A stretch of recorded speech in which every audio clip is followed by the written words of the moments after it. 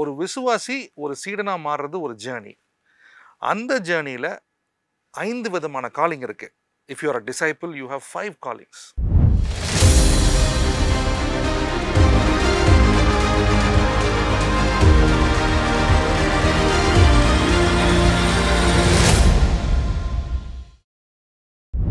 அந்த அஞ்சு காலிங்கில் ஒரு முக்கியமான காலிங் அப்போஸ்தலர் ஊழியம்.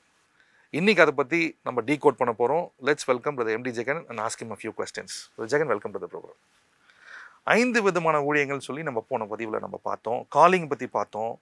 ஒரு விஸ்வாசின்னா என்ன? ஒரு சீடன்னா என்ன? அந்த ஜேர்னி பற்றி பார்த்தோம். ஒரு சபைக்குள்ளே உள்ளே போகும்போது நம்ம எப்படி அந்த ஐந்து ஊழியங்கள் நம்ம சபை எப்படி ரெடி பண்ணணும் அப்படின்னும் பார்த்தோம் நம்ம. போன பதிவில் நம்ம முடியும் போது முதல்ல அப்பாசல்ஸ் மினிஸ்ட்ரி பைபிளில் அப்பாசல்ஸ் வந்து அவங்க தான் காஸ்பிளை நெக்ஸ்ட் லெவல் கொண்டு போகிறாங்க அந்த ஏராவே தனியாக இருக்குது இன்றைக்கி நம்ம பார்க்குற இந்த நிகழ்ச்சியை பார்க்குறவங்க இந்த அப்போஸ்தலர் ஊழியத்தை எப்படி புரிஞ்சுக்கணும்? இந்த அப்போஸ்தலர் ஊழியத்துலேருந்து நான் எப்படி அதை அண்டர்ஸ்டாண்ட் பண்ணி எனக்கு இந்த காலிங் இருக்கான்னு நான் எப்படி தெரிஞ்சுக்கலாம்? அப்படின்றது ஒரு கேள்வியாக ஆரம்பிக்கலாம்னு நினைக்கிறேன். இந்த அப்போஸ்தலர் ஊழியம்னா என்ன? அப்படின்றது ஃபவுண்டேஷன்லேருந்து ஆரம்பித்தா நல்லாயிருக்கும்னு நினைக்கிறேன். அப்போஸ்தல் அப்படின்ற வார்த்தைக்கு அப்போஸ்தலர் அப்படிங்கிற வார்த்தைக்கு அனுப்பப்படுகிறவன் அர்த்தம். பர்சன் ஹூ சென்ட் இந்த பர்சன் was sent அப்படின்னு அர்த்தம். அதாவது காட் வந்து என்ன பண்ண போகிறாருன்னா உலகம் முழுக்க இந்த பன்னெண்டு பேரை அனுப்ப போகிறாரு அதனால் அவங்களுக்கு அப்போஸ்தலர் அப்படிங்கிறதான ஒரு பேரை வச்சார். டைட்டில் டைட்டில் ஸோ இவங்களுடைய வேலை வந்து அனுப்பப்படுகிறவர்கள். அந்த அனுப்பப்படுகிறவர்களுங்கிறதுல வந்து நல்லா கவனிச்சுக்கிட்டிங்கன்னா யாரோ யாருக்கிட்டேயோ அனுப்புகிறாங்க ம். சுயமாக போகிறவங்க இல்லை. அனுப்புகிறாங்க அப்படின்னா யாரோ அனுப்புகிறாங்கன்னு அர்த்தம். So sent from somebody from somebody to somebody to somebody அப்போது இந்த ஒருத்தர் இன்னொருத்தர்கிட்ட இவங்களை அனுப்புகிறாருன்னா இவங்ககிட்ட ஏதோ ஒன்று இருக்கணும். அது ஃபுட்டாக இருக்கும் அல்லது கொரியராக இருக்கும் அல்லது முக்கியமான விஷயங்களாக இருக்கும் ரகசியங்களாக ஏதோ இருக்கிறதுனால தான் இருக்கிறனால தான் அவர் அனுப்புகிறார் இதை கொடுத்து அனுப்புகிறாங்க அப்படின்னா இது ஒரு ரீசன் ஸோ இல்லாமல் போயிட்டாருன்னா அப்புறம் ரொம்ப சிக்கலாயிடும் அவன் எதுக்கு போனார்னே ரீசனே இருக்காது. சிலர் சொல்லுவாங்க சும்மா பார்க்க வந்தேன் அப்படிம்பாங்க. அந்த மாதிரி இல்லை. ஸோ காட் அனுப்புகிறார். அப்போ இந்த அனுப்புகிற இவர்கள் ஒரு வசனத்தில் நான் பார்த்துருக்குறேன். அந்த வசனம் வந்து ரொம்ப தெளிவாக இருக்குது. ரோமன் பதினாறு இருபத்தஞ்சி இருபத்தாறு நீங்கள் வாசிக்கும் போது sixteen twenty five twenty six நான் ஒரு அதில் ஒரு ரொம்ப அழகாக ஒரு விஷயம் இருக்குது பாருங்கள் நம்முடைய கர்த்தராகிய இயேசு கிறிஸ்துவனுடைய கிருபை உங்கள் அனைவரோடு கூட இருப்பதாக ஆமேன். ஆதி காலம் முதல் அடக்கமாக இருந்து அந்த வேர்டை நல்லா கவனிங்களேன். ஆதி காலம் முதல் அடக்கமாக இருந்து இப்பொழுது தீர்க்க தரிசன ஆகமங்களாலே அனாதி தேவனுடைய கட்டளையின்படி வெளியரங்கமாக்கப்பட்டதும் சகல ஜாதிகளும் விசுவாசத்திற்கு கீழ்ப்படியும்படி அவர்களுக்கு அறிவிக்கப்பட்டதுமாய் இருக்கிற ரகசியத்தை வெளிப்படுத்துகிறதான இயேசு கிறிஸ்துவை பற்றிய பிரசங்கமாகிய என் சுவிசேஷத்தின்படியே உங்களை ஸ்திரப்படுத்த வல்லவரும். இந்த வசனம் வந்து அதாவது கமாலே போயிட்டுருக்கோம். அதில் வந்து புல் ஸ்டாப்பே இல்லாததுனால கேட்குறவங்களுக்கு கொஞ்சம் புரிய கஷ்டமாக இருக்கும். அவர் என்ன சொல்ல வராரு அப்படின்னு கேட்டிங்கன்னா பூர்வ காலம் முதல் அதாவது கிரியேஷனுக்கு முன்னாடியே பிதா கிட்ட ஒரு திட்டம் இருந்துச்சு. ஆனால் அந்த திட்டத்தை அவர் ரிவீல் பண்ணலையாம் கிரியேஷன் தொடங்கின பிறகும் ஆதி காலம் முதல் அடக்கமாக இருந்து. அந்த கிரியேஷன் தொடங்கின பிறகும் அந்த கிரியேஷனுக்கு முன்னாடி உள்ள திட்டம் ஒரு திட்டம் இருக்குது அதை அவர் ரிவீல் பண்ணாமல் அடக்கமாக இருந்து ரகசியமாக வச்சுருந்தாராம் சீக்ரெட் சீக்ரெட் அந்த என்ன சீக்ரெட்னு கேட்டால் காஸ்பல் இந்த காஸ்பல் தான் அந்த சீக்ரெட்டாம் இந்த காஸ்பலை இந்த அப்போசலரை வச்சு கிட்டத்தட்ட உலகம் உண்டானதுலேருந்து நாலாயிரம் வருஷம் கழித்து சொல்லணும்னு அவர் வச்சுருந்தாராம். என்ன மாதிரி ப்ரீ பிளானிங் என்ன ப்ரீ பிளானிங் பாருங்கள் அப்போ இந்த அப்போசலர்கள் எப்போ பிளானில் இருக்காங்க? பிகினிங்லேயே பிகின் கிரியேஷன்லேயே கிரியேஷனில் பிளானிங்கில் இருக்காங்க. பிஃபோர் கிரியேஷனில் இருக்காங்க இவங்க.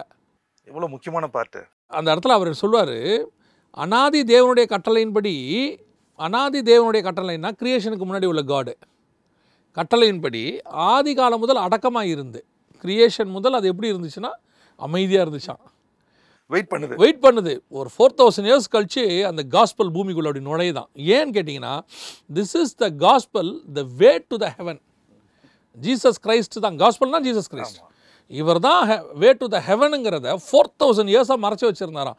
அதனால தான் அந்த பழைய ஏற்பாட்டு பரிசுத்தவனங்கள் அந்த பேர் சொல்லுங்க பேரை சொல்லுங்க பேரை சொல்லுங்கம்பா. நாங்கள் ஹெவனுக்கு போகிறதுக்கு பேரை சொல்லுங்க. இல்லை நான் சொல்கிறேன் சொல்கிறேன் சொல்கிறேன்ட்டு சொல்லாமல் அதை ஏன் கேட்குற கேட்குறேன்னு சொல்லிட்டு ஃபோர் தௌசண்ட் இயர்ஸ் கழிச்சு அந்த நேமை வெளியே சொல்கிறாராம் அப்படி. அதை காஸ்பல் குட் நியூஸ் அந்த குட் நியூஸை வந்து ஃபோர் தௌசண்ட் இயர்ஸ் வச்சுட்டு சொல்கிறாராம் யாரை வச்சு சொல்கிறாரு அப்போ வச்சு சொல்கிறாரு அதை கொடுத்து தான் அவனை அனுப்புகிறாராம் அதாவது நாலாயிரம் வருஷமாக நாம் புதைச்சி வச்சுருந்த ஒரு சீக்கிரட்டை எடுத்துகிட்டு இவங்க எல்லாரும் போகிறாங்க முக்கியமான ஒரு பொக்கிஷம். இந்த வசனத்தோடைய டெப்த்தை பார்த்த பிறகு காடோடைய ப்ரீ பிளான்டு விஷயத்தில் அப்போசலர்கள் எங்கே இருந்திருக்காங்க? காஸ்பல் எங்கே இருந்திருக்கு? இப்போ நாம் அதில் எங்கே இருக்கோம்? இதெல்லாம் யோசித்தா பிரமிப்பாக இருக்குது அப்போ இந்த அப்போசலர் ஊழியம் என்பது இன்றைக்கி நேற்று உருவானதல்ல. இந்த பன்னெண்டு பேரை இயேசு கிறிஸ்து வசனம் சொல்லும். தமிழத்தில் வந்தவர்களில் பனிரெண்டு பேரை அவர் அழைத்து. அவரோட அர்த்தம் என்னென்னா அதுக்கு முன்னாடி வசனம் சொல்லும். அவர் ரா முழுவதும் ஜெபம் பண்ணி. நிறைய பேர் வந்திருக்கானே இதில் யார் யார்? அந்த பன்னெண்டு பேரை பிதா சொல்கிறாரு கூப்பிட்றாரு இவர். அது இல்லாமல் எழுபது பேர் இருக்காங்க. இந்த பன்னெண்டு பேரை கூப்பிட்றாரு. இந்த பன்னெண்டு பேரை கூப்பிட்டு அழகாக இவங்கக்கிட்ட அன்னியிலேருந்து அந்த சீக்கிரட்டை சொல்ல தொடங்குறாரு. மற்றவங்களுக்கு சொல்லாததை இவங்ககிட்ட சொல்கிறார் ஒரு இடத்துல சொல்லுவார் மே மேத்யூ பதிமூணில் எங்ககிட்ட மட்டும் ஏன் வெளியரங்கமாக பேசுகிறீங்க அவங்கக்கிட்டலாம் பேரபலாகவே பேசுகிறீங்களேன்னு கேட்பாங்க அவங்க. அப்போ அவர் சொல்லுவார் பரலோக ராஜ்யத்தின் ரகசியங்களை அறியும்படி உங்களுக்கு அருளப்பட்டது அவர்களுக்கு அருளப்படவில்லை. மேத்யூ தேர்ட்டீன் டென் லெவனில் இருக்குது அப்போ என்ன சொல்ல வர்றாருன்னா இந்த அப்போசல்ஸ் வந்து ஹெவன்லி சீக்ரெட்டை வாங்குறவன். வாங்கி ஜனங்களுக்கு கொண்டு போய் கொடுக்குறவன். முக்கியமான ரோல் அது. எவ்வளோ பெரிய ரோல் பாருங்கள் அப்போ இந்த பன்னெண்டு அப்போஸ்தலர்கள் என்று சொல்லக்கூடிய இவர்கள் வந்து இன்றைக்கி நேத்தோ இயேசு கிறிஸ்து வந்த பிறகோ ஏதோ ஒரு குவாலிஃபிகேஷனால் வந்தவங்களாம் கிடையாது. They are pre planned pre selected அதுவும் இல்லாமல் அதில் ஒரு அப்போஸ்தலர் இந்தியாவுக்கு நம்ம நம்ம தேசத்துக்கு வந்தாருன்னு சொன்னால் எவ்வளோ பிளெஸ்டாக இருக்கும் நம்ம வேர்டை நான் சேர்த்துக்கிறேன். தமிழ்நாட்டுக்கு. தமிழ்நாட்டுக்கு. இந்தியாவுக்கு வந்தார் தான். ஆனால் அதுலேயும் நம்ம ஊருக்கு வந்தார். அந்த பன்னெண்டு பேரில் ஒருத்தர் நமக்கு அனுப்பி வச்சார் ஸோ இந்த பன்னெண்டு பேர் சீக்கிரட்டை எடுத்துக்கிட்டு போகிறாங்க ஒரு ஐயாயிரம் பேருக்கு அப்பம் விட்டார்ல. விட்டு முடிச்சுட்டு மிச்சம் உள்ளதை பன்னெண்டு கூட நிறைய எடுக்க சொல்லுவார். அதுக்கு பின்னாடி அர்த்தம் இருக்குது என்ன அப்படின்னு கேட்டிங்கன்னா அந்த துணிக்கைகள் அவர் சொல்லுவார் அப்பத்தை எடுக்க சொல்ல மாட்டார். துணிக்கைகள் எடுக்க சொல்லுவார். இப்போ ஒரு அம்மா வந்து கேட்டாங்களே மேஜையிலேருந்து ஒரு துணிக்கை லெஃப்ட் ஓவர் லெஃப்ட் ஓவர் அந்த துணிக்கை என்னன்னு கேட்டிங்கன்னா கேட்குறது யாருன்னா புறஜாதி அம்மா. அதாவது காணானிய ஸ்திரீ வந்து கேட்குறாங்க. ஸோ இஸ்ரவேலர்களுக்கு நான் அப்பத்தை கொடுத்தேன் அவன் எல்லாத்தையும் கீழே போட்டான். இதை எடுத்து வைங்க. பின்னாடி ஒருத்தன் வந்து கேட்பான். அதில் ஒரு கூட தோமாக்கிட்ட இருந்துச்சு. அது நம்மக்கிட்ட வந்திருக்கு இன்னைக்கு. கடவுளோட பிளானில் இந்தியா எவ்வளோ க்ளோஸாக இருந்திருக்குன்றது பார்க்கும்போது எனக்கு ரொம்ப சந்தோஷமாக இருக்குது எவ்வளோ பிளானில் அவ்வளோ இந்தியன் பீப்புளை நேசிச்சிருக்காரு எவ்வளோ. நேசிச்சிருக்காரு பாருங்க. இ- இன்னைக்கு நேற்று இல்லை two thousand years back so இப்போ இந்த பன்னெண்டு அப்போஸ்தலர்கள் வேர்ல்டு வைட் உலகளாவிய காஸ்பலை எடுத்துக்கிட்டு சீக்ரெட்டை எடுத்துக்கிட்டு டெலிவரன்ஸ் அல்லது வே டு த ஹெவன் இது எல்லாத்தையும் எடுத்துக்கிட்டு போகிறாங்க ஸோ இவர்கள் முன்குறிக்கப்பட்டவர்கள். ஆல்ரெடி ப்ரீ பிளான்டு ஆமாம் அனாதி காலத்தில் முன்குறிக்கப்பட்டவர்கள். அப்புறம் ஓல்ட் டெஸ்ட்மெண்ட்டில் ஃபுல்லாக இவங்களை பற்றின விஷயங்கள் வந்துக்கிட்டே இருக்கும். அதை மறைமுகமாக வந்துக்கிட்டே இருக்கும். அந்த மறைமுகமாக சொல்கிற காரியங்களை இஸ்ரேவருடைய ட்ரைப்ஸை வச்சே சொல்லிக்கிட்டு இருப்பார். ஆமாம் அதை வச்சுட்டு சொல்லிக்கிட்டே வருவார். ஸோ இப்போது நியூ டெஸ்ட்மெண்ட்டில் நமக்கு இந்த அப்போஸ்தலர் ஊழியம் என்பது மிக முக்கியமான ஊழியம். ரெண்டாவது அப்போஸ்தலர் உபதேசம்தான் அஸ்திவாரம் சபைக்கு அஸ்திவாரம். ஃபவுண்டேஷன் ஃபவுண்டேஷன் இந்த கல்லின் மேல் என் சபையை கட்டுவேன்னு சொன்னார் இல்லையா? பவுல் சொல்கிறார்ல நான் அஸ்திவாரம் இட்டேன்னு சொல்கிறார் இல்லையா? அந்த அஸ்திவார கல் யாருன்னு கேட்டிங்கன்னு சொன்னால் கிறிஸ்து கண்மலை அதன் மேலே கட்டப்பட்டது அப்போஸ்தலர் உபதேசத்தில் தான் சபை கட்டப்பட்டிருக்கு. இந்த அப்போஸ்தலர் உபதேசம் தான் நியூ டெஸ்ட்மெண்ட். இப்போ நீங்கள் எடுத்துக்கொண்டீங்கனாலே காஸ்பல் இருக்குது மேத்யூ மார்க்கு லூக்கு அப்புறம் வந்துட்டு ஜான். இதில் நமக்கு தெரிஞ்சு நமக்கு தெரிஞ்சு நீங்கள் பார்த்தீங்கன்னா மேத்யூவும் யோவானும் வந்து இந்த பன்னெண்டு பேரில் ரெண்டு பேர். அப்போசல்ஸ் அப்போசல்ஸ் அதுக்கப்புறம் வரக்கூடிய அப்போசல் நடபடிகள் லூக்கா எழுதுனது. அப்புறம் வரக்கூடிய அத்தனை புக்கும் ஃப்ரம் ரோமன்ஸ் டு தெசலோனிக்கர் எழுதின அத்தனையும் யாருன்னு கேட்டிங்கன்னா அப்போஸ்தல் பால் எழுதுனது. பதிமூணு புக் எழுதியிருக்காரு. ஏ பதிமூணு புக்கு அதுக்கப்புறம் தாண்டி யூதாவாக இருக்கட்டும் அல்லது இவங்களா இருக்கட்டும் இது எல்லாமே அப்போசல்ஸ் எழுதுனது. அதையும் தாண்டி ரெவலேஷன் அப்போசல் எழுது one John two John three John பேதுரு பீட்டர் எல்லாத்தையும் எடுத்துக்கோங்க. யாக்கோ புஸ்தகம். ஸோ இந்த புக்கே. ஃபவுண்டேஷனே அப்போஸ்தல்ஸோடைய வேர்டில் தான் இருக்குது ஸோ அப்போஸ்தலர் உபதேசத்தில் தான் சபை கட்டப்பட்டிருக்கிறது. அதனால தான் அவங்க சொல்லுவாங்க அப்போஸ்தலர் உபதேசத்திலும் அந்யோன்யத்திலும் அப்பம் பிகிடுதலும் அவர்கள் நாள்தோறும் தரித்திருந்தார்கள். ஸோ இந்த அப்போஸ்தலருடைய டாக்ட்ரின் இன்னொரு பெரிய விஷயம் இவங்ககிட்ட இருந்து என்னன்னு கேட்டால் நம்ம இந்த அப்போஸ்தலர்களை ரெண்டு பகுதியாக பிரிக்கலாம். ரெண்டு பகுதியாக நம்ம வசதிக்காக பிரிச்சுக்கலாம். ஒன்று இயேசு கூட இருந்த அப்போஸ்தலர்கள். During the time of is period Jesus Christ அப்புறம் இயேசு உயிர்த்தெழுந்து போன பிறகு உள்ள அப்போஸ்தலர்கள். இந்த ரெண்டு அப்போஸ்தலர்களையும் நீங்கள் பிரிக்கலாம். ஸோ இந்த இடத்துல என்ன சொல்ல வரோம் அப்படின்னு கேட்டால் இயேசு உயிரோடு இருக்கும்போது கூட இருந்து பன்னிரெண்டு பேர் படித்தது ஒன்று இருக்குது அவர் என்ன சொல்றார் கிறிஸ்து பிதா எனக்கு கொடுத்தவைகளில் ஒன்றை நான் மறைத்து வைக்கவில்லை. எல்லாத்தையும் நான் உங்களுக்கு கொடுத்துட்டேன். இது ஒரு பார்ட் இன்னொன்று என்ன சொல்கிறாரு ஆனால் இன்னும் நான் நிறைய காரியங்கள் உங்களோடு தர வேண்டி இருக்கிறது. அதை நான் இப்பொழுது சொன்னால் நீங்கள் தாங்க மாட்டீர்கள். ஜான் சிக்ஸ்டீனில் இருக்கு. தாங்க மாட்டீர்கள். நான் போய் பரிசுத்த ஆவியை அனுப்புவேன். அவர் வந்து உங்களை சகல சத்தியத்துக்குள்ளும் நடத்துவார். வரும் காரியங்களை குறித்து போதிப்பார். ஸோ ரெண்டாவது பார்ட் என்ன இருக்குன்னு கேட்டிங்கன்னா பரிசுத்த ஆவியானவர் வந்து சொல்லி கொடுக்கறது. ஹோலி ஸ்பிரிட்ஸ் கைடன்ஸ் கைடன்ஸ் இப்போது இதை எப்படி இயேசு கிறிஸ்துக்கிட்டேருந்து வாங்கி அப்போஸ்தலர்கள் நமக்கு கொடுத்தாங்களோ மேத்யூ கொடுத்துருக்கிறாரு ஜான் கொடுத்துருக்கிறாரு அப்புறம் வந்து பீட்டர் கொடுத்துருக்கிறாரு. இதே மாதிரி பரிசுத்தாவி கொடுத்ததையும் அவங்க வாங்கி கொடுத்துருக்குறாங்க நமக்கு. இதை இப்போ ஒரு வேர்டில் சொல்லணும்னு சொன்னால் பவுல் சொல்கிறாரு உங்களுக்கு ஒப்புவித்ததை நான் கர்த்தரிடத்தில் பெற்றுக்கொண்டேன். இப்போ பவுல்கிட்ட இன்னொரு காரியமும் இருக்குது அது என்ன? அப்போ சிலர் சொல்லி கொடுத்ததையும் பவுல் என்ன பண்ணியிருக்கிறாருன்னு கேட்டிங்கன்னா போயிட்டு ஜனங்கள் தோறும் அவங்க வந்து பிரசங்கம் பண்ணியிருக்கிறாங்க. யார்? பவுலும் பர்ணபாவை பற்றி அங்கே வசனம் சொல்லுது. அங்கே என்ன சொல்கிறாங்க பாருங்கள் அவர்கள் பட்டணங்கள் தோறும் போகையில் எருசலேமில் இருக்கும் அப்போஸ்தலராலும் மூப்பராலும் விதிக்கப்பட்ட சட்டங்களை கைக்கொள்ளும்படி அவர்களுக்கு ஒப்புவித்தார்கள். அதனாலே சபைகள் விசுவாசத்தில் சிறப்பட்டு நாளுக்கு நாள் பெருகின அப்படின்னு இருக்குது பவுல் என்ன பண்ணியிருக்கிறாரு? அப்போஸ்தலர்களும் மூப்பர்களும் எழுதி கொடுத்ததை கொண்டு போய் என்ன பண்ணியிருக்கிறாரு? சர்ச்சஸில் பிரசங்கம் பண்ணியிருக்காரு. இப்போ நம்ம இது அப்போஸ்தலர்கள் மூப்பர்கள் எழுதி கொடுத்தது.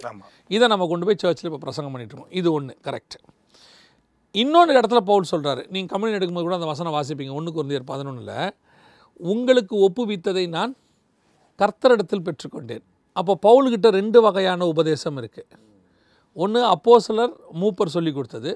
இன்னொன்று கர்த்தர் சொல்லி கொடுத்தது பர்சுத்தாவி சொல்லி கொடுத்தது. இதுதான் அந்த டிஃப்ரென்ஸ் ஸோ அப்போஸ்தலர்கள் என்பவர்களுடைய அடிப்படை என்னன்னு கேட்டிங்கன்னா கர்த்தரிடத்திலிருந்து சட்டத்திட்டங்களை வாங்கி கொடுக்குறவங்களா இருப்பாங்க. They will get from the heaven அப்போ அவங்க ஸ்பிரிச்சுவல் ஸ்டாண்டர்ட் மட்டும் இல்லை அவங்க ஜெப வாழ்க்கை எல்லாமே வித்தியாசமா அவங்க வாக் வித் காடே ஒரு இந்த மாதிரி பழைய ஏற்பாட்டில் ஒருத்தர் தான் உண்டு மோசே. என்ன மாதிரி கேரக்டர் அவரு? அவரு மோசே மட்டும்தான் தேவனுக்கிட்ட போய் சட்டங்களை வாங்கிட்டு வந்தவர். இங்கே அப்போஸ்தலர்கள் பன்னெண்டு பேரும் வாங்குறாங்க. இதுல இன்னொரு ஒரு ஒரு ட்விஸ்டும் இருக்கு. வாங்குறாங்க. பரிசுத்தாவி வழியா வாங்குறது இன்னொரு லெவல்லையும் ரிவீல் ஆயிட்டே இருக்கு. இது இது இப்போ நீங்கள் பார்த்தீங்கன்னா நம்ம இந்த மோசையை வந்து குறைக்கல. இல்ல இல்ல. அவரோட அவரோட லெவலே வேற. இங்கே நம்ம என்ன சொல்ல வரோம்? இவர் கர்த்தருடைய நாளில் ஆவிக்குள்ளானேன். யார்? நம்ம யோவான் எழுதுறாரு. இவர் சொல்கிறாரு பவுல் சொல்கிறாரு நான் வந்து மூணு மூன்றாவது வானம் வரைக்கும் எடுத்துக்கொள்ளப்பட்டேன். அப்போ இவங்கெல்லாம் ஒரு லெவலே வேற மாதிரி இருக்குது ஸோ பரிசுத்தாவியானவர் கொடுக்கறதையும் வாங்கி கொடுக்குறாங்க. தேவன் இயேசு கிறிஸ்து உயிரோடு இருந்தபோது கொடுத்ததையும் நமக்கு வாங்கி கொடுத்துருக்குறாங்க. ஸோ இந்த ரெண்டு சட்டங்களுள் அடிப்படையில் தான் இது இருக்குது பைபிள் இருக்குது இன்றைக்கி அப்போசலருடைய இந்த குவாலிட்டி இது ஒரு ஃபஸ்ட்டு குவாலிட்டின்னு வச்சுக்கோங்களேன். இது ஒரு குவாலிட்டியா அப்படின்னு கேட்டிங்கன்னா இந்த குவாலிட்டி தான் மெயின் குவாலிட்டி. அப்போசலர் அப்போஸ்லர் ஏற்படுத்தப்பட்டதுடைய நோக்கமே கிறிஸ்து கொடுக்குற சட்டங்களை கொண்டு போய் ஜனங்களுக்கு சொல்வது. இப்போ இதை தாண்டி சட்டங்கள் இருக்கா அப்படின்னு கேட்டிங்கன்னு சொன்னால் இதை தாண்டி சட்டங்கள் இல்லை. அப்போ அப்போஸ்தலர்கள் இப்போ தேவையா அப்படின்னு கேட்டிங்கன்னா இப்போ இருக்கிற அப்போஸ்தலருடைய காரியங்கள் வேறு. இப்போ செய்ய வேண்டிய விஷயங்கள் வேறு. என்ன அப்படின்னு கேட்டிங்கன்னா இந்த சட்டங்களை கொண்டு போய் எப்படி அப்போஸ்தலர் பவுல் சபைகள் தோறும் போதித்தாரோ இன்றைக்குள்ள அப்போஸ்தலர்கள் இந்த சட்டங்களை போதிக்கிறவர்களாக இருக்கிறாங்க ஸோ இந்த சட்டங்களை கர்த்தரிடத்துல இன்னும் வெரிஃபை பண்ணணும். இன்னும் தேவன்கிட்ட அவங்க திட்டங்களை வாங்கணும். தேவனோடு கூட ஒரு இடத்துல பவுல் சொல்கிறாரு நான் அப்போஸ்தலன் அல்லவா? நான் தேவனை தரிசிக்கவில்லையான்னு கேட்பார் அன்றைக்கி அப்போஸ்தலருடைய குவாலிட்டியிலேயே மிக முக்கியமான குவாலிட்டி கர்த்தரை தரிசிக்கிறது முகமுகமாக அதான் நான் சொன்னேன் பழைய ஏற்பாட்டில் இப்படி செஞ்ச ஒரே ஆள் யாருன்னா? மோசஸ். இவங்க அத்தனை பேரும் இங்கே செய்கிறாங்க இன்னும் ஐநூறு பேருக்கு அவர் தரிசனமானார். முகமுகமாய் சந்தித்து. அப்போ இந்த அப்போஸ்தலரோட குவாலிட்டி இப்போ நம்ம இன்னொரு விஷயத்த இங்கே சொல்லிட்டோம்னா இந்த இடத்துக்கு கரெக்டாக இருக்கும். என்னென்னா அப்போசலர் என்பது இப்பொழுது எப்படி பார்க்கப்படுகிறது? நான் என்னுடைய காலத்தில் நான் பார்க்குறது ஒன்று அவருக்கு வயசாகிருக்கணும் வயசாயிருச்சுன்னா அவர் அப்போஸ்தலர். ஏன்னா அவர் எழுபது வருஷம் அறுபது வருஷம் ஊழியம் பண்ணியிருக்கிறாரு. ஸோ அவர் ஊழியம் பண்ணதுனால அவர் அப்போஸ்தலர். இது வந்து அனுபவத்தின் அடிப்படையில் கொடுக்கப்படுகிற பட்டம் இல்லை அப்போஸ்தலர் பட்டம். யோசித்து பாருங்க பேதுருக்கு வயசானவர் அவர் ஆண்டவர் கூப்பிட்றாரு அப்போஸ்தலராக அழைக்கிறாரு. அதே காலகட்டத்தில் தான் யோவானையும் அழைக்கிறார். யோவான் இருக்கிறதுலே சின்னவர். இல்லையா? So age does not matter age does not matter calling is important நாள் ஆக ஆக இந்த காலிங் வந்து இன்னைக்கு மாறுது. வசனம் சொல்லுது அழைத்த அழைப்பும் கிருபாவரங்களும் மாறாதவைகள். உங்களுக்கு நான் உனக்கு கால் பண்ணுறேன்ல இந்த காலிங் வந்து என்ன கிடையாது? மாறாதது. ஆனால் இன்றைக்கி நீங்கள் எடுத்துக்கிட்டிங்கன்னா ஒரு ரேண்டமாக மாறிக்கிட்டு இருக்கு காலிங் ஒரு பாஸ்டாக இருக்கிறவர் திடீர்னு வந்து ஒர்ஷிப் லீடராக மாறிடுறார் ஒர்ஷிப் லீடராக இருக்கிறவர் திடீர்னு எவாஞ்சலிஸ்ட் ஆகிடுறார் எவாஞ்சலிஸ்டாக இருக்கிறவர் திடீர்னு சர்ச்சு பாஸ்டர் ஆகிடுறார் பாஸ்டராக இருக்கிறவர் கொஞ்ச நாளில் அப்போஸ்டர் ஆகிடுறார் எப்படி இந்த காலிங் மாறுது? இது எப்படி மாறுது? ஒரு பாஸ்டர் ஒர்ஷிப் பண்ணலாம் தப்பே இல்லை. ஆமா. அஞ்சு வகையான ஊழியமும் இருக்கு. ஒர்ஷிப் பண்ணலாம். அதில் எந்த மாற்று கருதும் இல்லை. நான் ஒரு பாஸ்டர் ஒர்ஷிப் பண்ணுறேன் எனக்கு ஒர்ஷிப் லீட் பண்ணுறேன் நான் ஒர்ஷிப் லீடராகவும் இருக்கேன். எனக்கு பிரச்சனை இல்லை. அதுல வந்து எனக்கு ப்ராபசி வரமும் வருது அப்படின்னு சொன்னா வாபஸ் வரமும் வருது. வரட்டும். வரட்டும். இதில் இதில் ஒண்ணும் நம்ம பகிர்ந்து கொடுக்குறார். பரிசுத்த ஆவியானவர் பகிர்ந்து கொடுக்குறார். நம்ம அதை யாரும் இங்கே குறை சொல்ல. குறை சொல்ல. பாஸ்டருக்கு நான் சர்ச்சை விட்டுட்டு எவாஞ்சலிஸ்ட்டாக நான் ரெண்டு மாதம் மூணு மாதம் எப்படி போக முடியும். அங்கே தானே பிரச்சனை வருது.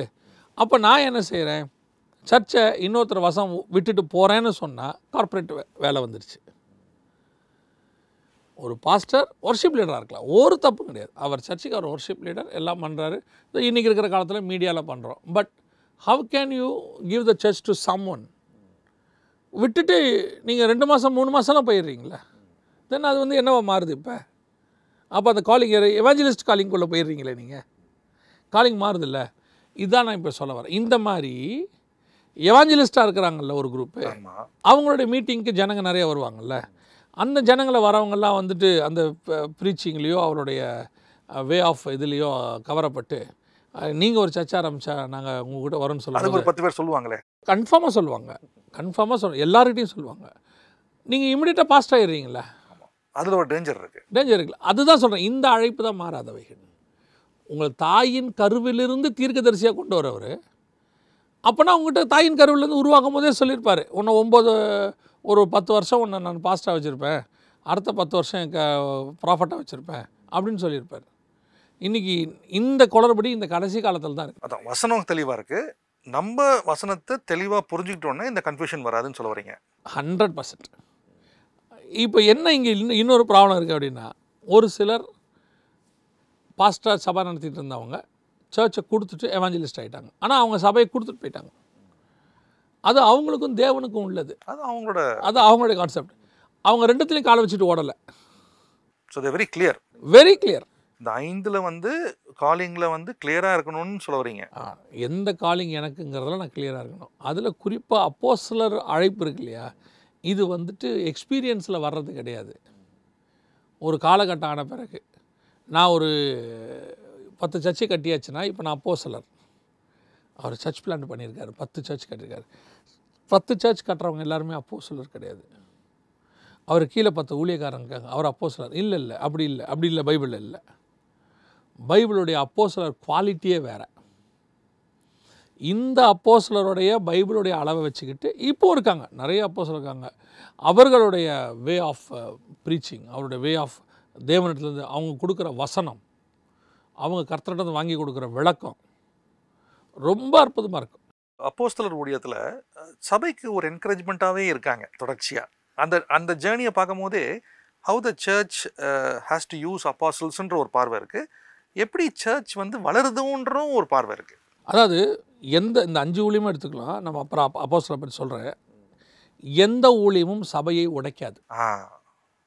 சபையை கட்டுகிறது தான் ஊழியம். அஞ்சும் சரி. எந்த ஊழியமாவது சபைக்கு விரோதமாகவோ சபையை உடைக்கிறதாவோ இருக்குன்னா அது தேவனிடத்துலேருந்து வந்தது கிடையவே கிடையாது. நேரடியாக நீங்கள் சொல்லிக்கலாம். ஃபவுண்டேஷன் ஏன்னா சபையின் பக்தி விருத்திக்காக தான் அதான் பேஸ் பேஸ் மினிஸ்ட்ரி அதில் பேஸ்மெண்ட் எதுன்னு கேட்டிங்கன்னா அப்போ சிலர் ஊழியம்.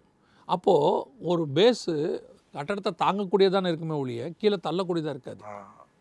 அப்போ அப்போ சிலர் ஊழியத்துக்கு வரவங்க சபையை உடைக்கிறவங்களாகவோ சபையில் கன்ஃபியூஸ் பண்ணுறவங்களாவோ அல்லது சபைக்கு விரோதமாக பேசுகிறவங்களவங்க இருக்கிறாங்கன்னா நிச்சயமாக அந்த ஊழியம் அப்போ சிலர் ஊழியமாக இருக்காது. இருக்காது.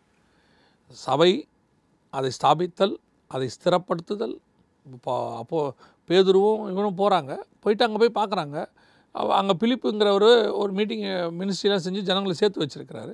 அவர் எவாஞ்சலிஸ்ட் இவங்க போகிறாங்க போன உடனே அப்போ சொன்னபடியில் இருக்குது நான் சொல்கிறது போகிறாங்க போன உடனே ஜனங்களை பரிசுத்தன அபிஷேகத்துக்குள்ளே நடத்துகிறாங்க சர்ச்சை ரெடி பண்ணுறாங்க ரெடி பண்ணி ஒப்படைச்சிட்டு அடுத்து போகிறாங்க மூமெண்ட்லேயே இருக்கு. மூமெண்ட்லேயே இருக்காங்க. அது மட்டும் இல்லை ஒரு நிருபத்தை எழுதுறாங்க. எழுதிட்டு இந்த சர்ச்சில் வாசின்றாங்க. வாசிட்டு பவுலும் சொல்கிறாரு இதை பேதுருவும் சொல்கிறாரு இதை என்ன பண்ணுங்க? அந்த சர்ச்சிலையும் போய் வாசிங்க. பாபிலோனில் இருக்க சர்ச்சில் வாசிங்க. லவதோக்கியாவில் இருக்க சர்ச்சில் வாசிங்க. சொல்கிறாரு இதில் புறஜாதி சபைகள். அங்கே போய் வாசிங்க. ஏன் ஒரு அப்போசலனுடைய மைண்ட் சபை கட்டப்படுவது? சபைனா நான் சொல்கிறது கட்டடத்தை அல்ல. சபை கட்டப்படுதல் அந்த ஒரு ஸ்பிரிட்டில் ஜனங்க உருவாகிறதுல தான் அவன் கான்சன்ட்ரேட் பண்ணிக்கிட்டே இருப்பான். அதனால தான் வேறு எந்த தேசத்துக்கு போனாலும் விட்டு விட்டு வந்த அந்த பட்டணத்தை பற்றி பவுல் பேசிக்கிட்டே இருப்பார். நான் உங்ககிட்ட அதை சொல்லிட்டு வந்தேனே. தட்சிணகிரிக்கு எழுதும்போது சொல்லுவார் நான் உங்களுக்கு சொல்லிட்டு வந்தேனே. ஃபாலோ பண்ணிட்டே இருக்காரு. ஃபாலோ அதுதான் ஒரு அப்போஸ்தலனுடைய மிக முக்கியம். ஸோ அப்போஸ்தலர் ஊழியத்தில் அவனுடைய அந்த அந்த ஜேர்னி இருக்கும் பொழுது அவனால் உலகத்தையோ உலகத்துக்கு உண்டானதையோ அல்லது ஃப்யூச்சரை பற்றியோ எதையுமே யோசிக்க நேரமே இருக்காது.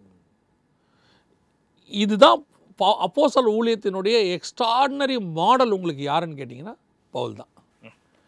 நோ அதர் உங்களுக்கு அதாவது எல்லோரும் இருக்கிறாங்க. பேதூர் இருக்கிறார் எல்லாம் இருக்காங்க. ஹண்ட்ரட் பர்சன்ட் பர்ஃபெக்ட் ஒரு அப்போசலர் இப்படி தான் இருக்கணும் அப்படிங்கிறதுக்கு அடையாளம் யாருன்னு கேட்டிங்கன்னா செயின்ட் பால். இதை தவிர்த்து வேறு யாரையுமே ஹண்ட்ரட் பர்சன்ட் பர்ஃபெக்டாக நீங்கள் எடுக்க முடியாது. சில இடங்களில் வரும்போது பர்ணபாவும் பேதுருவும் ஏதோ ஒரு மாய்மானம் பண்ணினார்கள் அப்படிங்கிறார். ஆனால் அதே பேதுரு பவுலை பற்றி எழுதும்போது பவுலுடைய நிருபத்தை படிக்கிறதே கஷ்டமாக இருக்குது எல்லாருமே படிங்க அதை அப்படிங்கிறார். அவரே அக்னாலேஜ் பண்றாரு. எவ்வளோ பெரிய விஷயம் அதெல்லாம். தனக்கு பின்னாடி வந்த ஒரு ஆள். இவர் இயேசுவோடு இருந்தவர். இவர் இயேசுக்கு அப்புறம் வந்தவர். அப்போ இந்த அப்போஸ்தலர் மினிஸ்ட்ரியினுடைய அந்த அடையாளம் அந்த மாடல் பவுல். ஸோ அப்போஸ்தலர் ஊழியம் முழுக்க முழுக்க சபை கட்டப்படுகிறதாக சபையை உருவாக்குகிறதாக. நான் சொல்கிறது திருப்பி சொல்கிறேன் திருப்பி திருப்பி சொல்கிறேன் தப்பாக எடுத்துக்காதீங்க. கட்டடத்தை அல்ல அந்த இடத்தில் ஜனங்களை உருவாக்கக்கூடியது. வசனத்தில் ஸ்ட்ராங் பண்ணக்கூடியது. கிறிஸ்துவை சந்திப்பதற்கு ஆயத்தப்படுத்தக்கூடியது. முழுக்க முழுக்க ஸ்பிரிச்சுவாலிட்டியை பற்றி மட்டுமே இருக்கும். ஹெவனை பற்றி மட்டுமே இருக்கும். ஹெவன்லி கிங்டமுடைய பர்ஸ்பெக்டிவில் இருக்கும். அப்படி இருக்கிறதுடைய எல்லா ஊழியும் அப்படி தான் இருக்கும். ஆனால் அப்போசர் ஊழியம் அதோடைய பேஸாக இருக்கும். ஸோ இதுதான் அப்போசர் ஊழியம். இன்னைக்கு செய்ய வேண்டிய இன்னைக்கு எல்லா காலத்திலும் இருக்க வேண்டிய அடையாளம். ஸோ அப்போஸ்தலர் ஊழியத்தை பற்றி நீங்கள் நல்ல விலைக்கு சொன்னீங்க. ஃபவுண்டேஷன் அதான் பேஸ்ன்றது ரொம்ப தெளிவாக புரியுது. இந்த நிகழ்ச்சியை பார்க்குற நேயர்களுக்கு எனக்கு இது கொஞ்சம் புரியுது. எனக்குள்ள அந்த அப்போஸ்டல் காலிங் இருக்கான்னு தெரியல. தெரிஞ்சுக்கணும்னு ஆசைப்பட்றேன் அப்படின்னு சொல்கிறவங்களுக்கு என்ன சொல்ல வரீங்க கன்க்ளூஷன் என்ன சொல்ல வரீங்க அப்போஸ்தலர் ஊழியம் செய்யணும் ஆண்டவர் உங்களை அழைச்சிருக்கிறாரு அப்படின்னு சொன்னால் அப்போஸ்தலர் ஊழியம் என்பது முதல் பேஸ் எந்த அப்போசரை வேணால் எடுத்துக்கோங்க. பேஸ் எல்லாவற்றையும் விட்டு அவரை பின்படுகிறவர் எல்லாவற்றையும் விட்டு. இதுதான் அப்போசர் ஊழியத்தினுடைய பேஸ் ரெண்டாவது அப்போசர் ஊழியம் வந்து எல்லா ஊழியம் அப்படி தான் ஆனால் அப்போசர் ஊழியத்தினுடைய மெயின் வந்து கிறிஸ்துவுக்காக ஜீவனை கொடுக்கும். நீங்கள் பார்த்துருப்பீங்க ஒரு அப்போசலர் கூட நார்மலாக சாகவே இல்லை. எல்லாருமே ரத்த சாட்சிகளை மறைச்சவங்க தான். ஸோ கிறிஸ்துவுக்காக ஜீவனை கொடுக்கக்கூடிய அளவுக்கு இருக்குது அப்போசர் ஊழியம் சொகுசை விரும்பாது. அப்போசர் ஊழியம் எதிர்காலத்தை பற்றி கவலைப்படாது. அப்போசர ஊழியம் சொத்து சேர்க்கறதை பற்றி ஆசைப்படாது. அப்போசர ஊழியம் வந்து பட்டத்துக்காக அப்போசர பட்டத்துக்காகவே அது அலையாது. அது கர்த்தராக பட்டம் கொடுப்பாரு. அதுவும் ஆசைப்படாது மற்றவங்களுக்கு கொடுக்க சொல்லவும் சொல்லாது. ஆண்டவரே கொடுப்பாரு அவர் அப்போசலன்ற பட்டத்தை. ஸோ அப்படி ஒரு அழைப்பு உங்களுக்கு கொடுத்துருக்குறாருன்னா தைரியமாக கிறிஸ்துக்காக வாங்க. இன்னும் சொல்லப்போனால் சபைக்கும் கிறிஸ்துவுக்குமான இணைப்பே இந்த அப்போசலர்கள் தான் ஸோ இருக்கிறதுலே மேன்மையான ஊழியம். இதை வந்து எல்லாரும் செஞ்சிட முடியுமா அப்படின்னு கேட்டால் யோசித்து பாருங்கள் உலகத்தோட்டத்துக்கு முன்பதாகவே பரலோகம் நிர்ணயம் பண்ணவங்க தான் செய்ய முடியுது. எல்லாரும் செய்ய முடியுமான்னு சொல்ல முடியாது. இது காஸ்பல் மினிஸ்ட்ரி மாதிரி எல்லாரும் சுவிசன் சொல்கிற மாதிரி எல்லாரும் அப்போஸ்லர் ஆகிட முடியாது. இதுக்குன்னு ஒரு விசேஷத்தை அழைப்பு வேணும். அதை கர்த்தரே அழைக்கணும். அதில் இன்னும் நான் எனக்கு என் அளவுக்கு நான் சொல்கிறேன் தெரிஞ்சதை சொல்கிறேன் அப்போசல் ஊழியம் இருக்குமானால் அவங்கள வந்து ஆரம்பத்துலேருந்து அப்படி ரெடி பண்ணி கொண்டு வந்திருப்பார். ஆரம்பத்துலேருந்து ரெடி பண்ணி கொண்டு வந்திருப்பார். ரெடி பண்ணி இதை கொண்டு வருவார். அப்படி அழைப்பு இருக்குன்னா தைரியமாக வாங்க. கிறிஸ்துவுக்கும் ஜனங்களுக்கும் உங்களை ஒரு பாலமாக கத்தர் பயன்படுத்துவார். மிக்க நன்றி பிரதர் ஜெகன். அப்போசல்ஸ் மினிஸ்ட்ரி வந்து எவ்வளோ முக்கியன்றதை நம்ம புரிஞ்சுக்கிறோம். அதுவும் இல்லாமல் பைபிளில் இருக்கிற ஃபவுண்டேஷனே அப்பாசல்ஸோட எழுதின விஷயங்கள். ஸோ அதை நினைக்கும் போதே நமக்கு எவ்வளோ சீரியஸாக நம்ம இதை படிக்கணும். இன்னும் பரிசுத்த ஆவியோட நம்ம படிக்கணும். அதுலேயே ஒரு சின்ன ஒரு இதுவும் அப்பாசல்ஸ் பிஃபோர் அந்த டியூரிங் த கிரைஸ்ட் அவங்க வாழ்ந்த காலத்தில் ஆஃப்டர் ரிசரக்ஷன் அவங்க நடந்துக்கின விதமே with the help of the holy ஸ்பிரிட்னு சொல்லும் போது எவ்வளோ டீட்டெயில்டாக போயிருக்குன்றது நான் ரொம்ப இது ரொம்ப துல்லியமாக தெரியுது இதில். இந்த நிகழ்ச்சியில் பல விஷயங்கள் நம்ம கற்றுக்கிறது மட்டும் இல்லை பேஸாக நம்ம வந்து ஹவு இம்பார்ட்டண்ட் அப்பாசல்ஸ் மினிஸ்ட்ரின்றதை நம்ம தெரிஞ்சுக்கிறோம். அடுத்த பதிவில் நம்ம the role of the prophet தீர்க்கதரிசி பற்றி பார்க்க போகிறோம் இது போன்ற நம்ம பல நிகழ்ச்சிகள் தயாரிக்கிறோம் நம்ம யூடியூப்லேயும் சரி தொலைக்காட்சியிலையும் சரி பல லாங்குவேஜஸில் பார்க்குறாங்க நம்ம இந்த நோக்கமே இந்த நிகழ்ச்சியோட நோக்கமே இவங்களோட not only their spiritual development அவங்களோட காலிங் அண்டர்ஸ்டாண்ட் பண்ணும் அப்படின்னு சொல்லி நம்ம விரும்புகிறோம் கடைசியாக நான் வந்து இந்த தாட்டில் முடிக்கலாம்னு நினைக்கிறேன். நீங்களும் அது எப்படி பார்க்குறீங்கன்னு பாருங்கள் ஃபைனலாக ஏன் கடவுள் நமக்கு இந்த நிகழ்ச்சியிலாம் தயார் பண்ண அலோவ் பண்ணுறாரு அப்படின்னு நீங்கள் எப்படி நினைக்கிறீங்க அதை? ஏன் why is God allowing this நம்ம ரெவலேஷன் பீரியட்லேருந்தே நம்ம அதை நினச்சிட்டே இருக்கிறோம். சில நேரத்தில் பேசி கொண்டு இருக்கிறோம். நம்ம ரெண்டு தனிப்பட்ட முறையில். காடோடைய ஒரு கைடன்ஸும் அல்லது திட்டமும் சித்தமும் இல்லாமல் நாம் இதை செய்யவே முடியாது. நம்ம இதன் மூலமாக தேவனுக்கு ஒரு திட்டம் இருக்குது காட் வந்து எந்த கூழாங்களையும் பயன்படுத்துவார். ஸோ காடோடைய இந்த திட்டம் எதுக்கு அப்படின்னு பார்த்தீங்கன்னா இந்த கடைசி காலத்தில் மீடியா என்பது ஒரு பெரிய ஒய்டு ஓப்பனாக இருக்குது இன்றைக்கி மீடியாவில் இல்லாதவங்களே இல்லை. பட் இந்த மீடியா வழியாக இன்றைக்கி வைடு பீப்புளை ரீச் பண்ணுறதுக்கு இந்த சத்தியங்களும் அதே நேரத்தில் சுவிசேஷமும் அதே நேரத்தில் வெளிப்படுத்தின விசேஷத்தினுடைய வெளிப்பாடுகளும் ஜனங்களுக்கு போகிறதுக்கு கர்த்தர் வந்து ப்ரீ பிளான் பண்ணி இதை பண்ணிகிட்டு இருக்கிறாரு நான் அதை உணர்றேன். மோர் தென் நான் நினைக்கிறேன் டூ ஹண்ட்ரட் எபிசோட்ஸ்க்கு மேலே நான் பண்ணியிருக்கேன் ஸோ எல்லாமே காடுடைய பெரிய திட்டம் இது. ஹண்ட்ரட் பர்சன்ட் காட்ஸ் பிளான் தான் மிக்க நன்றி பிரதர் ஜெகன். அடுத்த பதிவில் இன்னொரு ஒரு ஆங்கிளில் ஆஃபீஸ் ஆஃப் த சர்ச் சபையின் ஐந்து ஊழியங்களை நம்ம அடுத்த ஒரு பகுதி பார்ப்போம். இந்த நிகழ்ச்சிக்கு நீங்கள் வந்ததுக்கு மிக்க நன்றி. வணக்கம்.